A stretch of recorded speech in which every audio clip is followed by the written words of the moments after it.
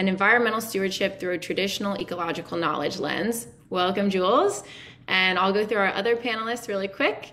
We're happy to have Francesca Koe. Francesca currently serves as the program chair and director for the Greater Farallones Association and as a member of the Greater Farallones National Marine Sanctuary Advisory Council in a conservation seat. For nearly a decade, Francesca worked at the Natural Resources Defense Council as the director of strategic initiatives, where she led myriad efforts to advance to enhance equity and resource protection and advance clean energy solutions. The longtime editor of deeperblue.com, Francesca is presently focused on the restoration of bull kelp and recovering marine habitats in the Golden State. And uh, I'll drop it in the chat after this. Everyone should definitely follow her on Instagram at Kelp Princess. It's a good time. Welcome also to Fred Keeley. Thank you for being here. Former California Assembly Speaker Pro Tem Fred Keeley is the author of the Marine Life Management Act, the Marine Life Protection Act, and the California Ocean Science Trust Act. So we love that you're here on our, on our law day. Together, this legislative package constitutes the most comprehensive revision of California's marine management laws in 100 years. Today, these acts address the impacts of climate change and other threats to the coast and ocean environment. Bio speaks for itself. Super excited to have you, Fred. And we have Calla Allison. Calla is the founder and director of the Marine Protected Area Collaborative Network. Much of what Calla learned about local ocean policy implementation came from her years as the Marine Protection Officer for the City of Laguna Beach and as Director for the Orange County MPA Council, OCMPAC, I think that's how that's pronounced. After serving as a member of the Marine Life Protection Act Initiative's South Coast Regional Stakeholder Group, Calla became focused on expanding the OCMPAC model of local engagement in MPA management statewide, and the collaborative network was born very cool network. Uh, great to work with Calla. And finally, Samantha Murray. You can find her on Zoom at the Fish and Game Commission meetings, where she is president of the five person body that adopted California's marine protected areas and will oversee the 10 year review. She's also the executive director of an interdisciplinary master's program in marine biodiversity. In marine biodiversity and conservation at Scripps Institution of Oceanography at UCSD, where she also teaches graduate courses. Samantha has two decades of professional experience directing ocean and water programs at a variety of NGOs and has served on the Marine Protected Area Federal Advisory Committee, as well as various Marine Life Protection Act initiative bodies. That is our panel. Really, none of that could be cut out. It's an epic panel, and I think I will just, with that, toss it over to Jules to get us started. Thanks so much, Laura. Good morning, everyone. Can we hear me okay? Yes. Thank you. Uh, so thank you so much for this opportunity to be here today. I'm calling in um, from Kumeyaay Island, and we're celebrating uh, California's Marine Protected Area Network, which is the first comprehensive science-based network of MPAs in the United States. It was developed over an eight year planning process based on input from scientists and hundreds of stakeholders from throughout the state. It resulted in 124 MPAs covering more than a half million acres of protected marine habitats, including coastal wetlands, rocky reefs, and other various ecosystems between Mexico and Oregon. Despite the success, and while the process to create California's MPAs included thousands of hours of stakeholder input representing a broad range of perspectives and interests, the process wasn't fully inclusive. For example, when the MPA, when the, pardon me, when the Marine Life Protection Act, the legislation that called for a statewide network of MPAs was passed in 1999, it did not include specific reference to the rights or roles of the California Native American tribes, who have stewarded coastal and ocean resources since time immemorial. Unfortunately, today we do not have California tribal representation on this panel but tribes have done an extraordinary amount of work over the last decade and made many tangible, concrete gains within the state of California. There is, of course, more work to be done on Indigenous led conservation, including in MPA management. Now, 10 years after its establishment in 2012, the state is evaluating the MPA network to better understand its success and areas of improvement. We are seeing more fish and no take reserves. Students are enjoying more programs to engage in coastal and marine science, stewardship, and recreation. And more stakeholders are working together to advance our MPA goals, as evidenced by an incredible MPA collaborative network that represents a myriad of coastal stakeholders across the state. While enforcement remains challenging, the state has taken many important steps to promote compliance with new MPA regulations and, with the support of state legislature, has strengthened laws to address poaching. As new MPAs are established throughout the world in accordance with global targets, California's post designation efforts provide a valuable and educational case study for local, national, and international MPA managers. So, the process was imperfect and at times messy, and we still face challenges today. But extraordinary work has been done over the last 20 plus years to make California's MPA network successful, and we are seeing many of those benefits today. Let's learn about some of these successes and challenges.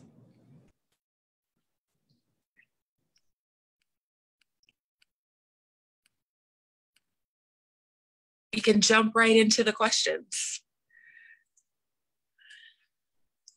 First up, Fred, where did the idea of the Marine Life Protection Act come from? What was the vision and how did the process work? Well, thank you very much. Thank you for including me and thank you for having this important gathering today. And thank you all for the parts that you have played, are playing, and will continue to play with regard to MPAs in California. To get to your question, when I arrived in the legislature in the late 1990s, we took myself, my legislative director, David Bunn, at the time, and a number of other folks around the Capitol in the scientific community and marine sciences and so on. Uh, we had a few meetings, and what seemed readily apparent to me is the following that when California was founded in the 1850s, and the Fish and Game Commission was one of the very first parts of California government, and in fact is one of the rare fish and game commissions, now called Fish and Wildlife Commission, embedded in the state constitution. So we thought that we had a good vehicle for modernizing how we manage the marine environment. A way to think about it is, and the way we were thinking about it is, that in the 1850s up until maybe the 1940s, what we had was abundance in both the marine environment and the terrestrial environment. And the consequence from a management perspective, or the challenge from a management perspective, was how do you manage abundance? And so, for decades and decades and decades, the answer to that question became you don't have to manage very much at all because it's abundant. Well, as California continued to grow into a very large state with 70% of the folks who live in the state within a one and a half hours drive of the coast. And we started seeing numbers uh, declining in terms of fisheries. It became apparent that we're now managing scarcity, not managing abundance. When you're managing abundance, if you don't have to do much, when you're managing scarcity, you have to do a lot. And that was the thought in a highly conceptualized way, that was the thought that drove the Marine Life Management Act, the Marine Life Protection Act was exactly that. How is it that we can manage scarcity? How do we manage scarcity here? And one of the other things that we observed in the process of putting the legislation together was that there were MPAs of sorts all over the place and the California coast, but it was not what I think we would all agree was a coherent, integrated strategy uh, with, as you mentioned, enforcement and scientific observation and being able to measure whether the strategies being used were effective. And then lastly, the uh, notion of dealing with the water column rather than this species here and this species over here and this species over here working essentially in the water column because of the interdependence of all of that life within the water column. And that gave rise to the Marine Life Protection Act and uh, a, I think, uh, uh, more than than decent effort uh, has gone into really making that operational. So again, thank you all very much for the part you're playing in that. Thank you so much, Fred, for providing that wonderful context. Francesca, welcome. Good morning. So, the process to create MPAs was undertaken many years ago, and we've had our network now for 10 years. What does a successful MPA look like underwater? And are we seeing any examples of that today in California? Good morning. Thank you for having me. Uh, thank you, Fred, for kicking us off. And, um, you know, I've been known to be a little bit of a rule breaker. So I'm going to actually show you some photos of what a healthy MPA looks like, both underwater and uh, at the intertidal. Um, so let me get to, uh, tell me if I'm sharing my screen, folks.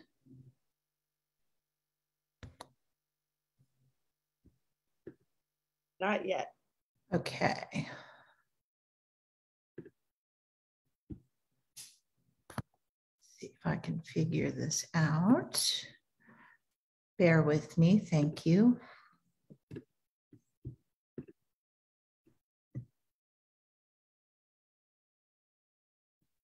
How about now? It's sharing, but it's black.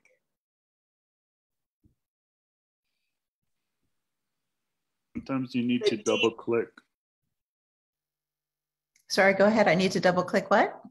Sometimes you need to double click on the item that you want to show.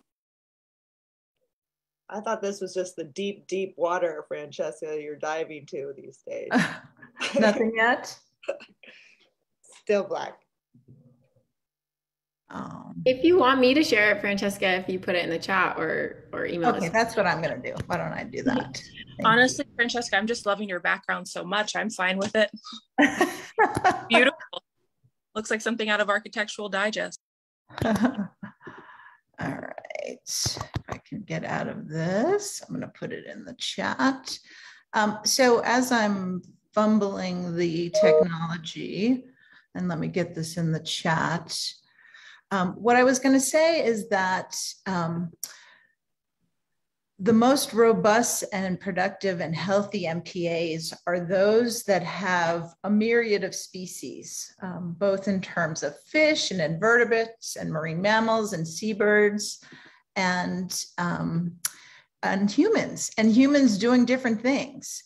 Um, it is a place where people come to gather, to live, to feed, to explore, to discover.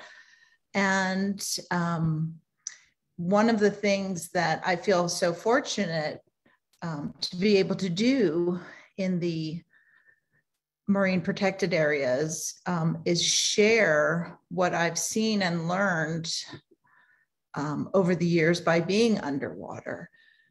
Uh, let me see if that has gone through the chat. Looks like it's loading.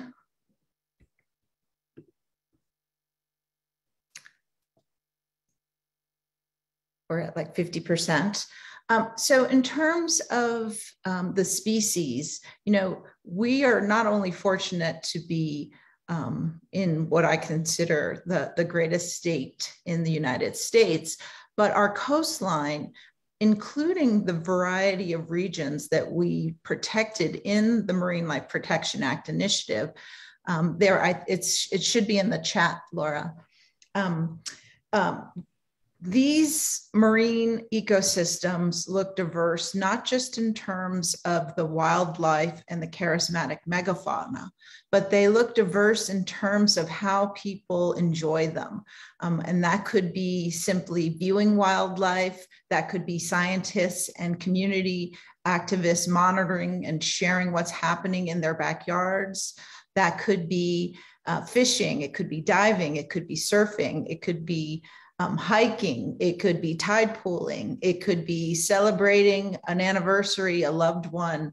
All of these things, we all harvest memories, seafood, and moments right off of our coasts. And the, the, the thing that is always the constant backdrop um, is this beautiful marine ecosystem, which comes with, you know, giant kelp forests and um, eelgrass, rocky intertidals, and all of the variations in between. Um, I think the other thing that even though a lot of these marine protected areas are healthy, what we're seeing are changes. Uh, we're seeing changes in the number of people that are coming to our coasts. We're seeing changes in the climate. And even when we have these systems um, and these buffer zones that are there to ensure the healthy productivity of all kinds of marine species, what we're seeing are changes in actually how they work together and how we work in them. So we're seeing things like sea star wasting disease, we're seeing the kelp forest die off, we're seeing these changes. And because of that, we're also seeing innovation and positivity coming from different people who want to contribute to making sure that those climate changes that we're seeing ha- reduce the number of impacts to our interaction with these special places with the sort of ecosystem engine services they provide us from clean air to clean water to food. Um, I don't know if we're able to get the slides up, but there's an assortment of those images in um, in the in in the imagery that I sent for folks to see. These are amazing pictures, Francesca. I love just how it shows the diversity of the entire marine protected area network and the fact that we can still be out there and enjoy them and there's such a diversity of, of uses and ways to enjoy them. I think that often gets missed when people talk about protected areas. They think of them as being far away you know somewhere that's um, protected that isn't a part of their their day to day and what they get to experience. So this really shows that this is this is really a part of California and something that we can all steward and enjoy um, and see the benefits of.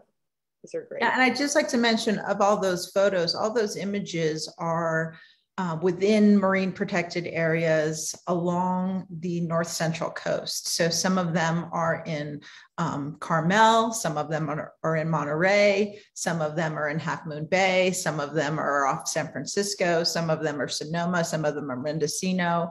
Um, every image you see there is in an actual marine protected reserve or marine conservation area or marine park. Um, and so I hope that shows the breadth of how um, how healthy they actually are and how important they are to various activities.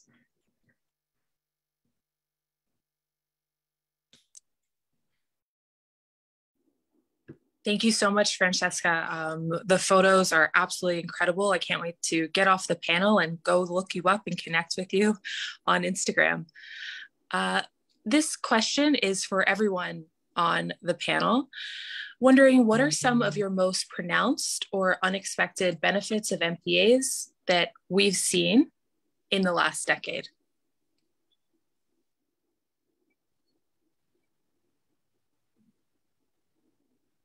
Well, I'll offer up something from a non scientific point of view. Uh, and that is this that uh, I happen to also have the good fortune of being on the Monterey Bay National Marine Sanctuary Foundation uh, board of directors. And the MPAs are a major focus of the education and information that is uh, shared with the public on a, on a uh, very thorough basis. An example of that would be the the Sanctuary Exploration Center in Santa Cruz, which was built by the uh, by NOAA and NOAA sanctuaries uh, in Santa Cruz as an introduction to the Monterey Bay and the National Marine Sanctuary. In that environment, lots of school children are moved into and through the Sanctuary Exploration Center, which also has a wet lab in it and various kinds of, excuse me, various kinds of interactive uh, displays and so on. And the reason I raised that is that I think that that, together with the work being done at on, on the public side, if you will, the availability of the public to access the work of the various very high uh, quality marine research institutes around the Monterey Bay. So, Long Marine Lab, Moss Landing Marine Lab, Hopkins Marine Station, MBARI, uh, and so on. You move around the bay. And what we see is that they all have a good educational component where there's a continuity of providing education and information uh, about MPAs. The thing that I like especially about that is that I think we we know this, uh, and that is that we have a large population. California is changing demographically, and it is important for students in the San Joaquin Valley or the Pajaro Valley or elsewhere where they've, in many cases, not ever been to the coast, for them to get to the coast, provide access to the coast, provide educational opportunities. And the marine protected areas are such a fine example. It's understandable what problem were you trying to solve? What solution is in place? How is that working? Because it's measurable. By doing that with, with and advising and educating students, especially students of color, what we're doing is helping them fall in love, fall in love with the ocean. What we love, we'll protect. And I think that's one of the very uh, positive direct impacts of the marine protected area chain up and down California, but certainly speaking to the Central Coast and to the Monterey Bay National Marine Sanctuary, it's a particularly good tool for education. Fred, that deeply resonates as a youth coach. What you love, you protect, and we're helping the students fall in love. I couldn't have said it better myself. Thank you so much. Any other panelists that would like to contribute? Hi, Jules. Yeah, I'd love to, to just mention a few things from a from a different angle, more I suppose from the the science and management side of things. You know, it's I wouldn't say these are unexpected benefits, uh, but for how young our MPA network is, it's been pretty extraordinary to see that we do have bigger, more fish of greater diversity within um, some of our MPA boundaries already. You know, in the Central Coast, we've got cabezon, lingcod, black rockfish that are more abundant inside MPAs black abalone that are bigger inside MPAs. Um, and you know these results are especially pronounced in our older MPAs, right? At the Northern Channel Islands or at Point Lobos, Point Cabrillo. We, you know, Point Cabrillo, we've got double the biomass and abundance of targeted fish species in kelp and shell rock ecosystems uh, compared to outside. So those are, you know, those are some really satisfying early benefits that we're seeing on the science side and then some things I don't I don't know if we were expecting like um, there there have been studies there's at least one study that's been published talking about how inside MPA boundaries at the Channel Islands we see that invasive sargassum has been kept at bay and there was this sort of um, yeah this effect of being able to to, to keep that invasive algae um, from from really taking over inside the MPA. We've got evidence of spillover um, you know benefits fish leaving MPAs and and and going and taking all those um, all, all, that productivity outside of MPA boundaries. And spillover is not easy to document. Um, often you have to use sort of DNA barcoding to, to be able to do it, but we've got a couple studies from the San Diego Scripps State Marine Conservation Area and Reserve, and then Carmel Bay and Monterey Bay. So being able to see that documented spillover is also really important. Um, contextualizing, Francesca talked about this a little bit, but contextualizing these oceanographic changes we're seeing um, with you know, the warm, wet, warm water blob events we've got, the sea star wasting disease. We've got a lot happening uh, in the ocean right now. And to be able to have these research areas where we can eliminate some of the confounding impacts um, and really just isolate and look at the science of what's happening, you know, inside the MPAs which was particularly useful when you think about the, the Plains All American oil spill that happened um, several years ago, 2015, 2016, you know, some years ago now. But to be able to have this research record um, of the local MPAs there and, and say, like, better quantify, you know, the habitats and the wildlife inside because we had this longstanding research record. Um, and then the last thing I'll say is, you know, fishing. You know, profitability of fishing is dependent on many factors: fuel prices, markets, weather, oceanographic conditions. But generally, you know, these sort of gloom and doom concerns that we heard at the outset of the MLPA, you know, worrying that everybody was going to go out of business, we wouldn't have healthy fishing communities. Generally, uh, you know, according to, to the statistics, average individual revenue and commercial landings are, are steady or increasing in some cases. And, you know, I, I would hesitate to connect that directly to the MPAs, but it's nice to see that fishing is still happening and is still profitable in California. Thank you, Samantha, for speaking both to the scientific aspects of where we are today, as well as unanticipated, uh, unexpected, wonderful things that have happened as well. Any other panelists would like to chime in? Sure, I'll just chime in anecdotally. Um, I was just actually out at Catalina doing some work on the boundaries and, and took my son with me. And he had just done a report on marine protected areas for school. And you know, did some research and interviewed me and interviewed a couple others. Um, but it wasn't until we were actually out there swimming and in a marine protected area and he saw so many fish. And he's like, Mom, I wish I would have done this before my report because I saw it with my own eyes, like how the difference of swimming and playing around outside of the protected area and then being in the protected area and just seeing the bigger fish, the more fish being able to get closer to them. Um, you know, the, the marine protected areas, especially in Avalon and, and Catalina, are pretty tame. Um, and just having that penny drop to see the difference that marine protected areas can make um, in size and abundance and biodiversity and all that just clicked.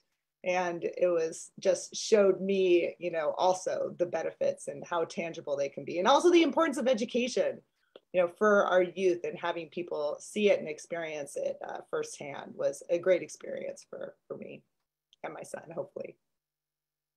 It's truly amazing uh, how we are able to see the world differently through the lens of children. Thank you so much for sharing that heartwarming story, uh, Calla. Calla, and anyone else who wants to answer, could you talk about some of the different stakeholders who took part in this process and how regional perspectives were represented?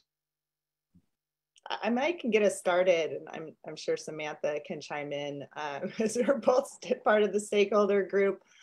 Um, you know, we had the, the four different regions that brought together stakeholders that were really meant to represent um, diverse sectors. So commercial and recreational fishers, uh, nonprofit conservation organizations.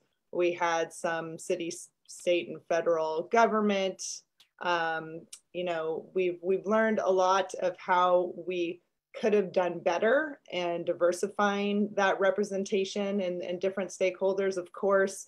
Um, but at the time, it was it was kind of this new idea to have this stakeholder driven process and have this um, huge difference of opinions get together and try to figure out, you know, based on the science, where these marine protected areas um, should go. And it's it's an interesting concept. I think we've we've learned a lot um, about who should be involved and who should be involved um, throughout the process, and then moving forward into the management, of course. Um, but the the idea was, you know, breaking it up into regions was acknowledging that there was going to be different priorities in different parts of the state. I mean, you really just can't compare Southern California to to the North Coast um, to the Bay Area. They're just very, very different areas, mm-hmm. um, and they're going to have you know different perspectives um, and different insights. And being able to leverage all that expertise. I know being a stakeholder myself, I learned so much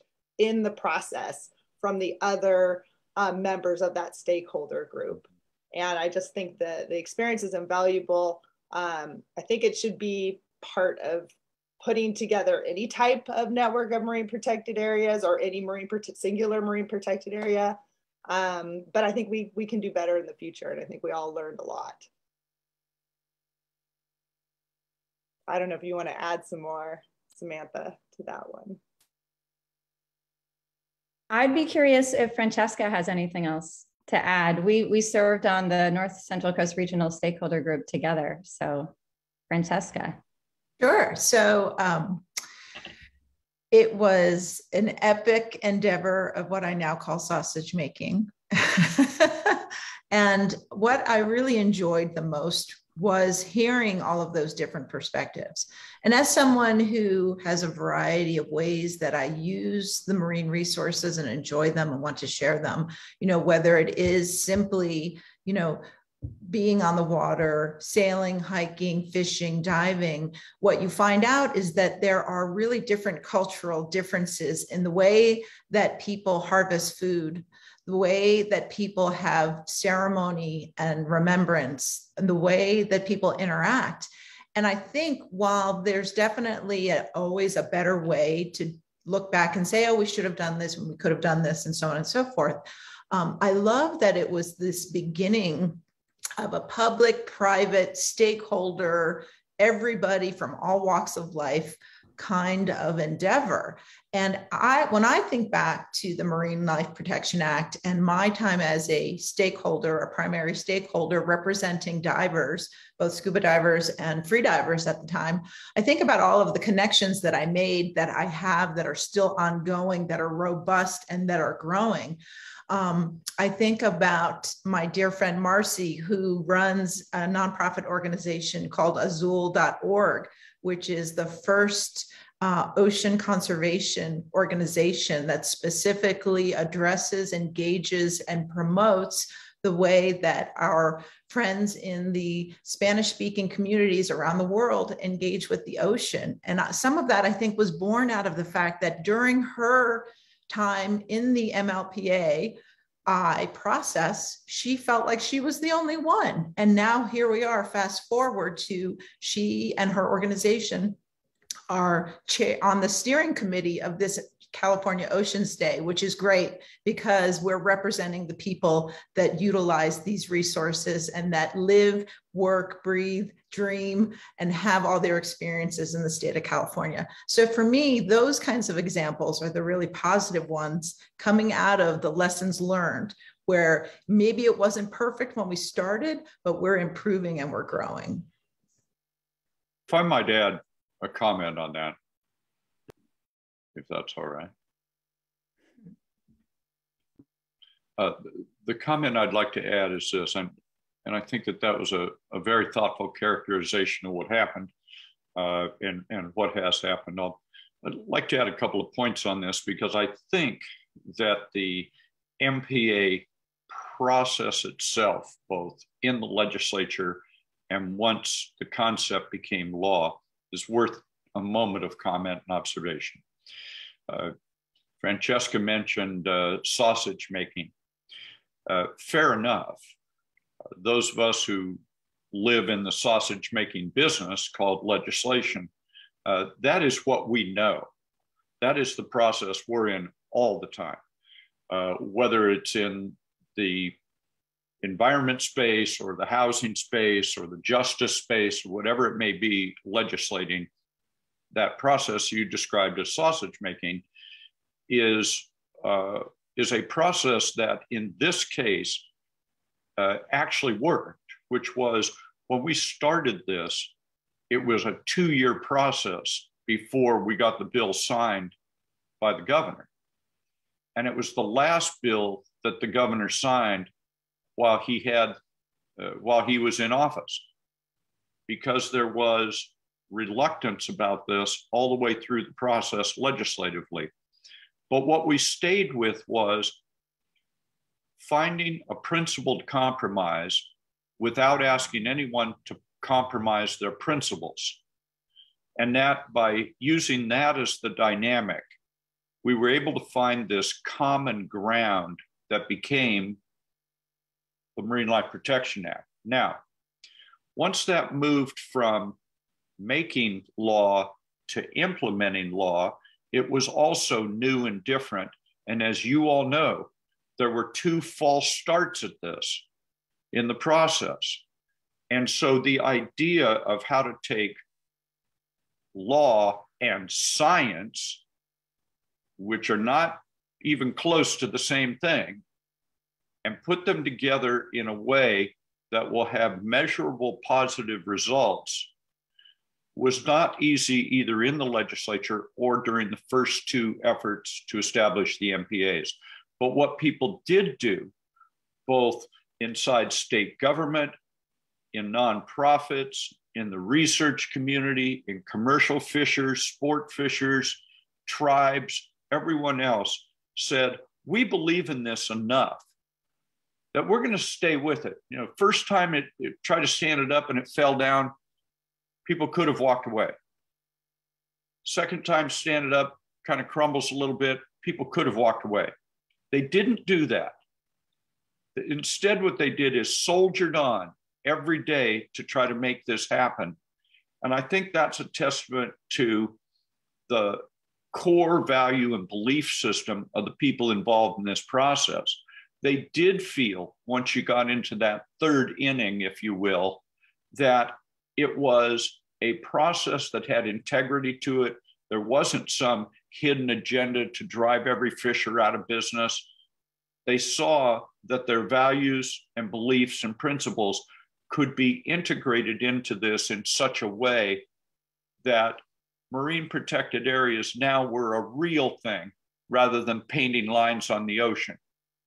And I think that that's when, when both those worlds can come together the world of lawmaking, the world of marine science, and the stakeholders involved therein. This is a, a wonderful model, not only because of the success in the ocean, because it indicates a pathway and a, a way that many environmental issues that threaten us in the global climate change space have a chance of working. Thank you, Fred. I think that that's a wonderful transition uh, to a follow up question as it relates to legislation. So, Fred, Sam, others, how do our state MPAs fit into the context of global, federal, and state 30 by 30 efforts? Well, I think I'll just pick up where I left off. My, my sense is that a couple of things have happened that are very positive in that regard. Uh, one is that, uh, and this is sounds very inside baseball, and I can understand why, uh, but but you all are inside baseball players, so it's all good. This won't sound so strange to you, but I think one of the most important uh, uh, moments in this was when the California Ocean Science Trust became the ocean science advisor to the Ocean Protection Council. The reason I think that was important, that happened when uh, now state senator, but then Secretary of Resources John Laird worked that through. Uh, and the reason, the importance of that as I see it, is that for an environmental solution or package of bills or single bill that are addressing an environmental issue, uh, once the bill is signed into law, that's not the end, that's the beginning of something. And it is not possible for very many laws to have very much salutary and beneficial effect unless there is an everyday commitment to it. So if the MPA concept sat over in fish and wildlife by itself, competing with everything else all the time, administratively, budgetarily, etc., that would be one way. But I think what what the state has done, a uh, couple of governors in a row, a couple of secretaries of the Natural Resources Agency in a row, etc., have said we're going to elevate this concept to the OPC level, which is a regular center point or intersection of science and policy that helps the administration adjust budgetary issues, regulatory issues, et cetera. So I think that's a that's a very positive view because anybody who knows me knows I'm irrationally optimistic, but it is a positive turn of events the stacking of the boxes to move Cal OST into the OPC so that the, the uh, marine protected areas are constantly getting attention at the highest levels of state government. I might add something else in addition to that, Jules, if it's okay. Um, as was mentioned earlier, I serve on the Greater Farallones National Marine Sanctuary Advisory Council, which is obviously um, an advisory council for a federal designation, marine sanctuaries. And what's unique, I think, in California is that one, we have marine protected areas in our national marine sanctuaries, and two, um, that whole public private work together agency, resource managers, residents, stakeholders, tribes, everyone that comes together in that inter- interface, not just in terms of the marine protected areas, but all of these ecosystems that we are trying to restore and protect. And a very explicit, exact example is that earlier, Fred um, uh, Secretary Panetta was talking about continuing resolutions. Well, I have good news for everyone that this recent omnibus budget that was just passed We've been advocating for three years for money to help monitor, manage, understand, and restore, working with the OPC and the California Department of Fish and Wildlife through sanctuaries, keeping ecosystem, ecosystems living and productive. The very first start of an earmark, $2 million to go towards the tribes, the nonprofits, the resource managers that are looking at what is happening here? How do we need to supplement and adjust to make sure that we can keep these systems healthy? And that is all interlaced between federal and state. And you might say that the Marine Life Protection Act is where we all learned how to work together and, and contribute together and get the most benefit out of our efforts together. Speaking of contributing and being a stakeholder, Samantha, and, and thank you for that, Francesca. Uh, Samantha, as a stakeholder in the MPA design process and the now president of the Fish and Game Commission, can you describe some of the challenges, including those related to tribes, that we face in developing California's current network of MPAs, as well as where we are now in terms of MPA management and tribal engagement? Yeah, thanks so much for the question, Jules. The the tribal issue has come up a few times just in this panel already, and it's it's a really important topic. So I'm grateful you asked. I do want to start by acknowledging my own positionality as a white woman who sits in a position of relative power on the Fish and Game Commission. So I, I really cannot and will not speak for California tribes, but I can talk about what I have seen from where I sit. Um, you know, there are more than 100 federally recognized California tribes and tribal communities in California, as well as dozens more who have not received federal recognition. And many tribes harvest marine resources within their ancestral territories and maintain really intimate relationships with the coast for ongoing customary uses. But the Marine Life Protection Act, as we, we mentioned earlier, it was it was silent on tribes, right? And that's not unusual. That's not just the Marine Life Protection Act. That's uh, frankly, probably most environmental laws, certainly of that, of that time. But it was a significant policy and social justice oversight that California tribes and tribal communities named, particularly on the North Coast, named very emphatically and, and passionately. So I, I witnessed those protests on the North Coast, and they were um, they were appropriate, they were important, they were necessary, and you know, on the North Coast, after some of that um, controversy, the state did make a decision to support continued traditional, non-commercial tribal use in in specific specified North Coast MPAs. And that was the first time that California had ever, to my knowledge, provided a broad formal recognition of the unique status of tribes with respect to natural resources. So that was a really important first step. And you know, my view is that today that complicated and messy history has had a, just an incredibly important effect on state governance. Um, tribal leaders worked extraordinarily hard and had a long overdue conversation with the state. And as a result, those, those tribal leaders secured important concrete outcomes. And I'd like to share some of those outcomes, if that's okay. Yeah. So, so in 2011, Governor Brown codified his commitment to tribes in an executive order that called for government to government consultation between the state and tribes, created a tribal advisor position within the office of the governor. Tribal representatives now have four dedicated seats on the interagency MPA state, statewide leadership team. Um, on the MPA front specifically, in 2018, the Fish and Game Commission amended boundaries at Stewart's Point State Marine Reserve in Sonoma County, um, and then also authorized ceremonial, cultural, and subsistence uses in, in Santa Barbara, Ventura, and LA County MPAs in response to requests submitted by the Santa Ynez Band of the Chumash Indians. Um, we now see this is not directly relevant to the state MPAs, but seeing the, the Chumash National Marine Sanctuary proposal um, in the federal um, reserve, you know, see, seeing that as a federal National Marine Sanctuary proposal is so inspiring and impactful and, you know, would be the first National Marine Sanctuary that is, um, uh, that is, that is driven by tribes for tribes.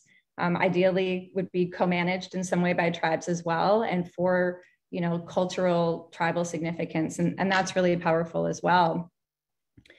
We did see in MPA monitoring, the Tolowa Dee-ni' led a baseline uh, monitoring project in the North Coast. That was the first state funded marine research project in California that actually incorporated indigenous traditional knowledge.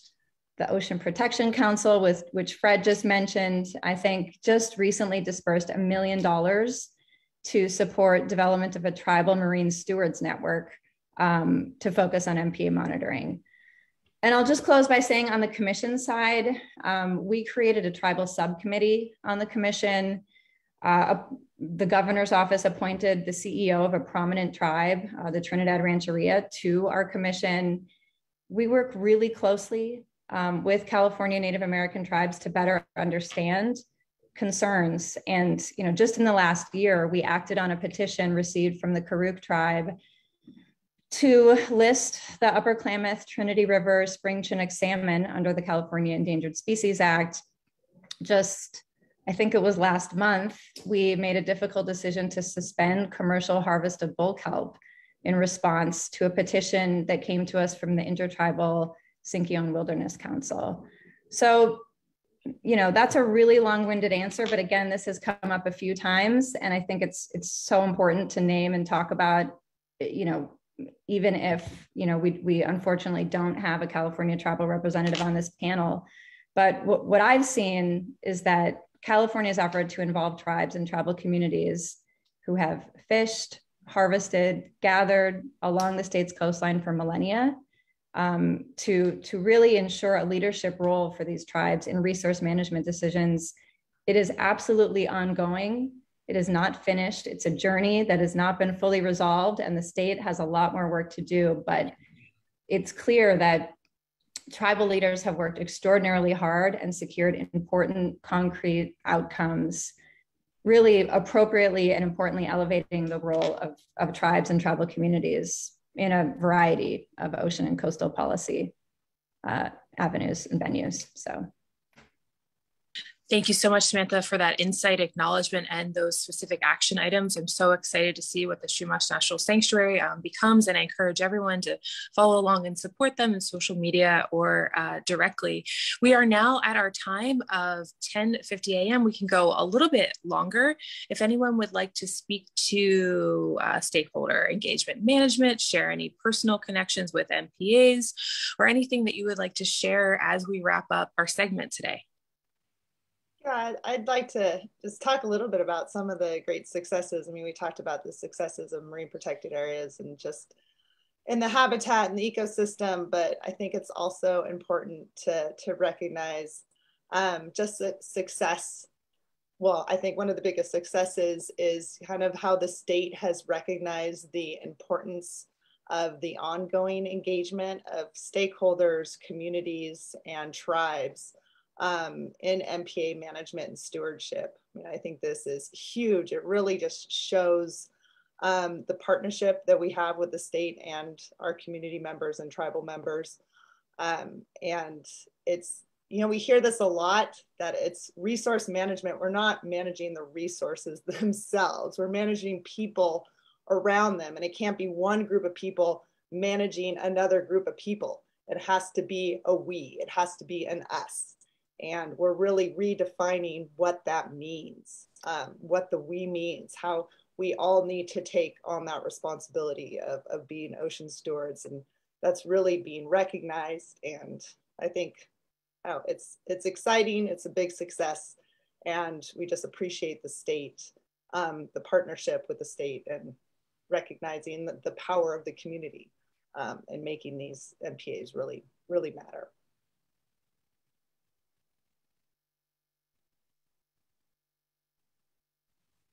So well said, Calla. Are there any other uh, contributions anyone would like to speak to?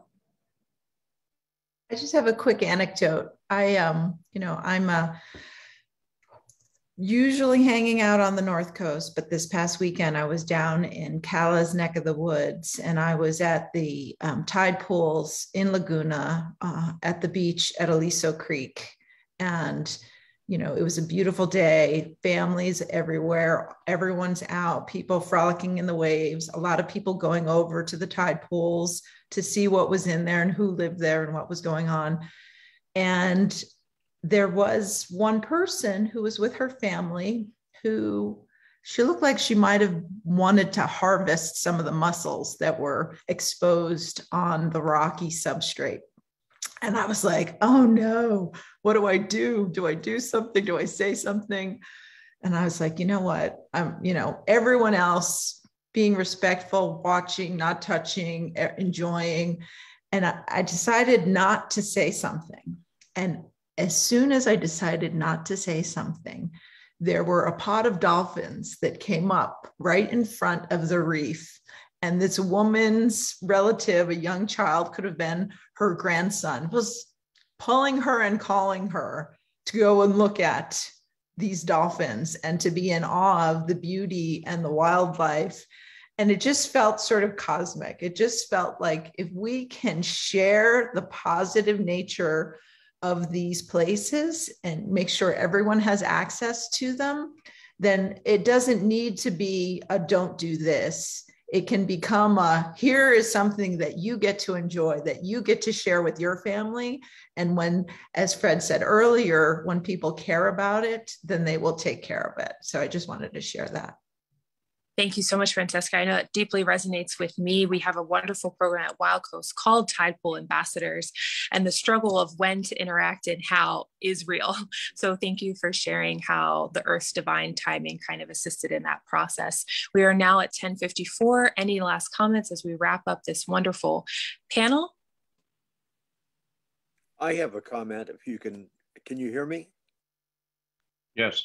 Uh, I was involved in the development of an oceanographic teaching station at Manhattan Beach uh, years ago in the 70s. And uh, there's some discussion going on that uh, there are a number of teaching stations along the coast that are, are not focused in the way uh, that, that you are in a way, but and they're very isolated. Uh, but there's been some discussion about trying to stitch them together uh, in some kind of loose collaboration, but with the idea, uh, somebody was talking about uh, uh students uh, coming down and uh, experiencing the ocean. And those are, I think, um, potentially very effective gathering places for, for students and others, and creating then a basis for interest in the oceans more broadly. Um, but anyway, it's something to keep in mind. Mm-hmm. Mm-hmm. Thank you, sir. Absolutely. At this time, it is now 1055. I will defer to Laura Walsh and leave us with a message of gratitude in our ancestral language. We say, Thank you to everyone for this wonderful opportunity to be in community with us, celebrating the MLPA and sharing with us all of your wonderful work. Laura. Thank you, Jules. Thank you, everyone. That was amazing. Oh, there's two of us, Laura's helping out with the Ocean Day Steering Committee, so I'll let Laura Zeehan take it. But I just want to thank the MPA panel. That was fantastic. Yeah, thank you so much, everyone. That was incredible. Um, thank you for all of your work and the storytelling um, about these incredible places. Um, and it's just amazing that we're at 10 years of um, having the this um, you know marine protected area network um, that is just a shining example for the rest of the country and other parts of the world as well. Um, so just in a couple of minutes, we're going to get started with the next panel, which is all about storytelling for, about the sea. Um, so folks can hang tight and we will be getting started momentarily. And I'll just share my screen so you can see what is to come. Too many tabs up. Here we go.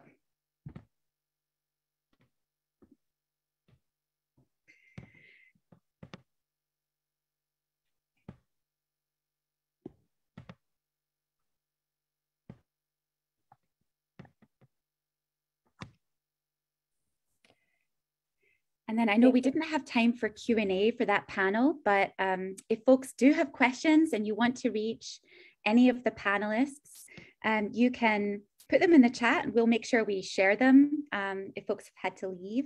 And we can also email them to the different panelists to, to get those questions answered. Um, so feel free to, to drop any questions or comments in the chat.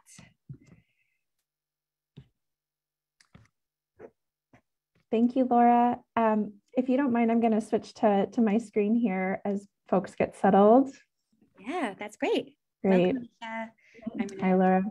Spotlight you. great. well, as everybody's transitioning from panels, we can use these couple moments to maybe do some introductions. We really want to hear from as many people as possible on the line here. And so I'm going to go ahead and drop in some questions in the chat for you all. Um, but uh, let me just real quick um, bring those up. And I just would love to know who's on the line. So your name, your organization, your role with that organization, if relevant, and then also a fun question, um, one word or phrase that describes your first memory of the ocean. So I'll go ahead and enter those into the chat here and then repull the screen up. Can everybody see that?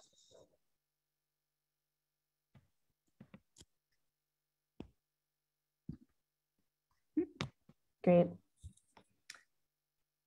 Thank you. It was lovely to hear a little bit from that earlier panel and some of the stories that they shared as well um, about the successes over the years, as well as their personal experiences. Um,